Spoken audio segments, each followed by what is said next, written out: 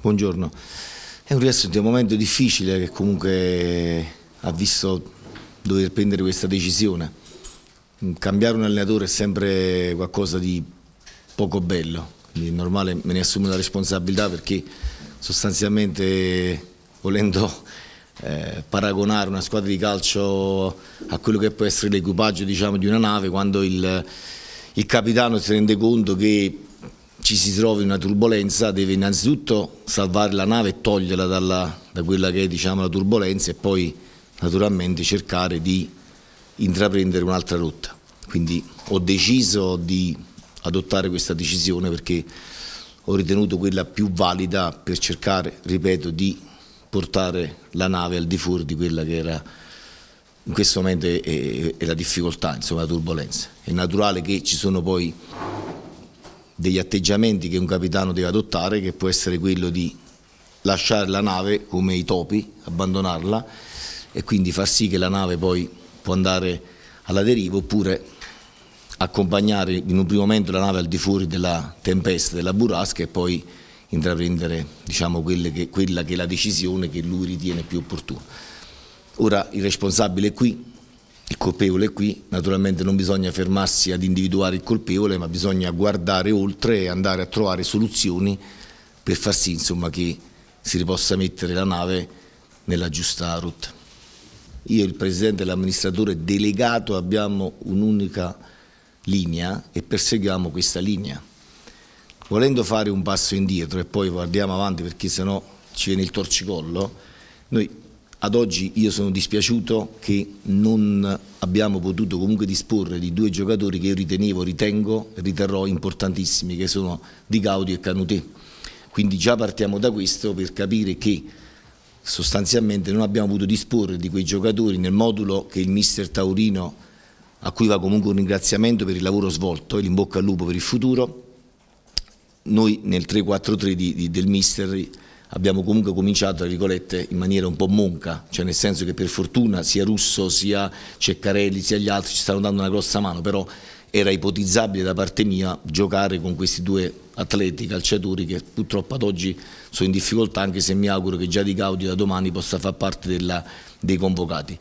Detto questo sul, sul, budget, io purtroppo devo fare questi, mi tocca fare questi, questi paragoni lei conosce bene eh, Montevergine, no? quindi lei a Montevergine può arrivare, no, dico, per arrivare, dico Montevergine siamo di Avellino, non siamo di Crotone, se no avrei detto un altro, quindi per arrivare in sulla cima eh, il presidente con l'amministratore mi hanno detto c'è l'elicottero e c'è la Ferrari, ma io posso anche arrivare a piedi, arrivo sempre a Montevergine, quindi c'è da capire il modus operandi del direttore e, e, o, di, o di Tizio di Cai. Io ho preferito, assumendomi la responsabilità, per questo sono qua, perché io metto la faccia, poi al di là di quello che se ne dica, e quindi non andare sempre a cercare, questo è una, una, o, o, fa parte del mio background, della mia, della, mia, della, mia, della mia, scuola, perché comunque per fare direttore sportivo ci vuole anche scuola, non bisogna trovare il colpevole o trovare la zizzania, trovare, ormai siamo qua, ripeto, il Presidente mi ha potuto dare anche 80 milioni di euro, in questo momento storico, e aria, sono parole in libertà,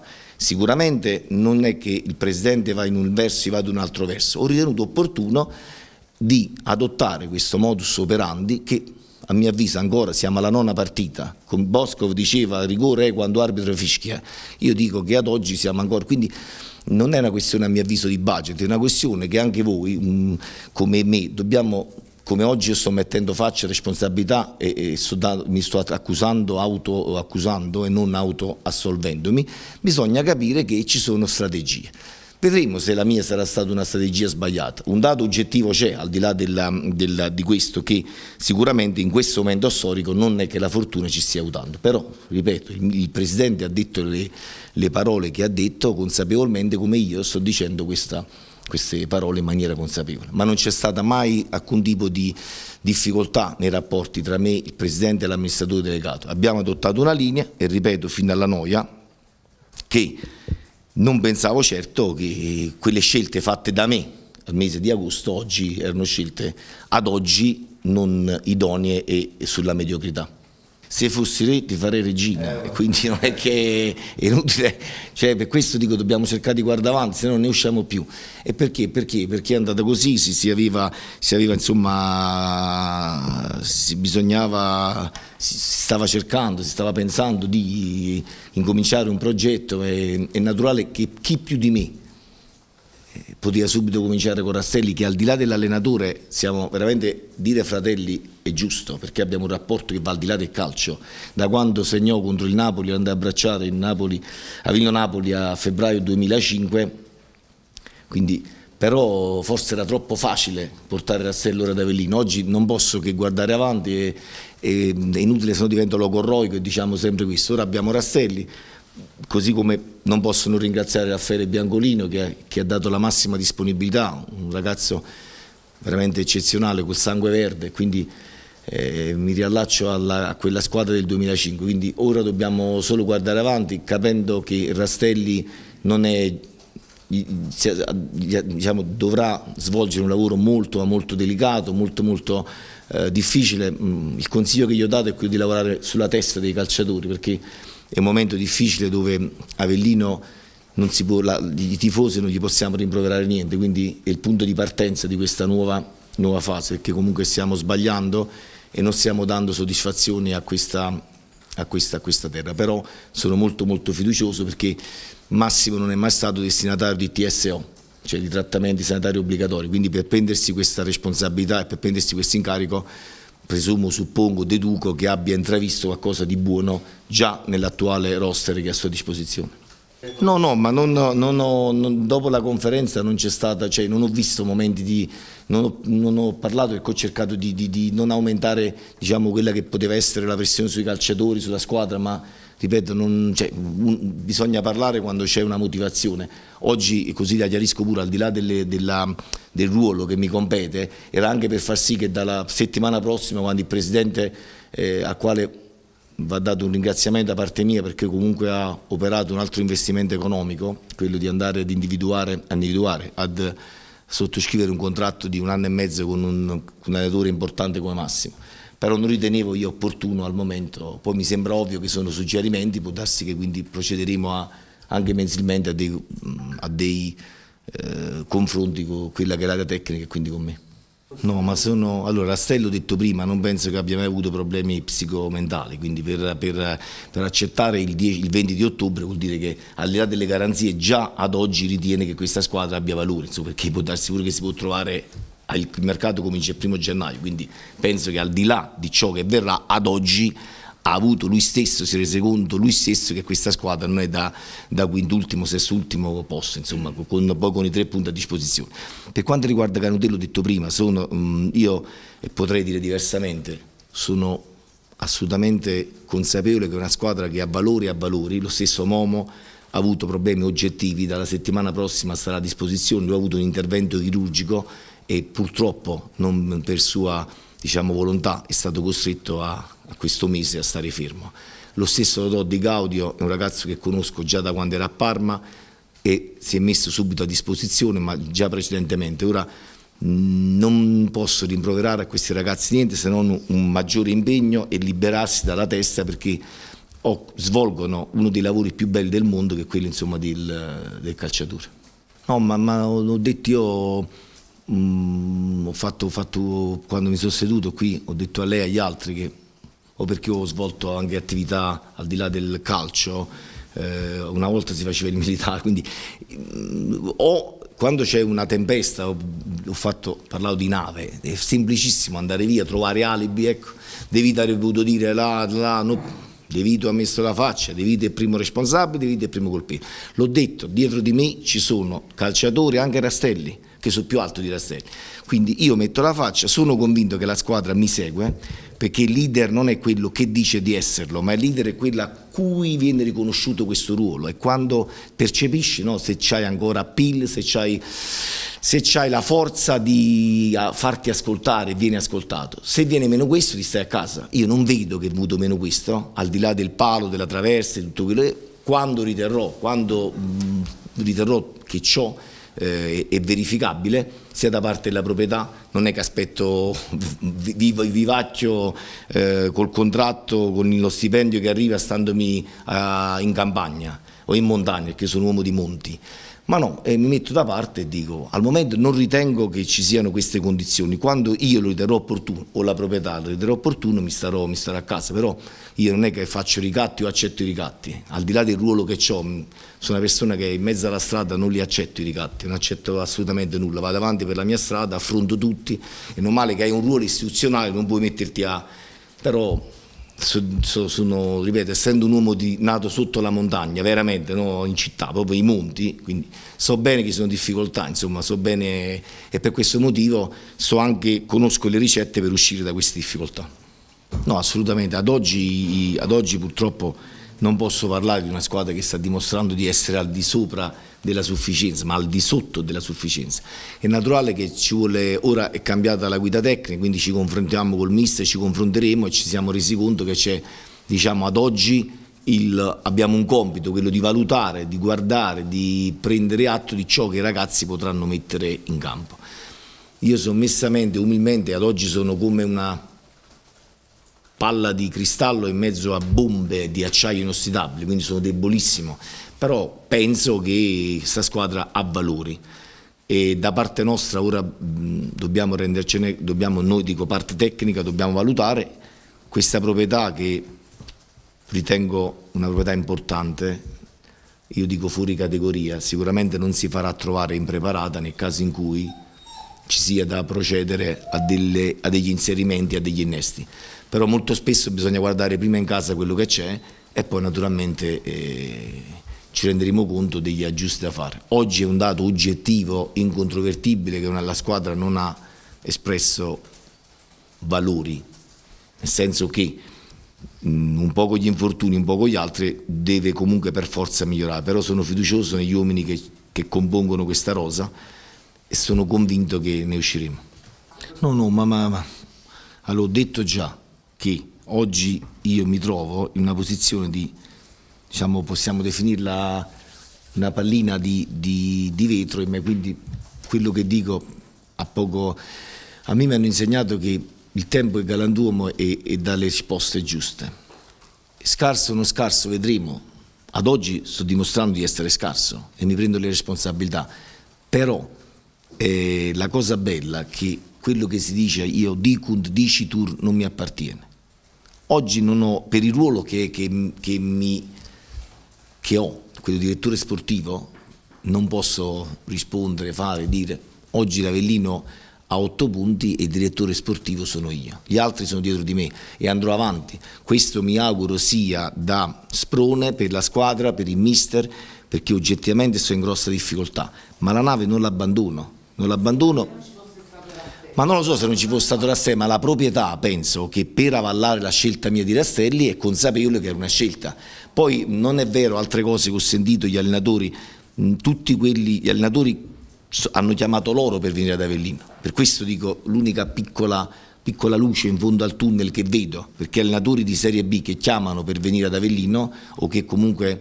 Ehm, Brocchi.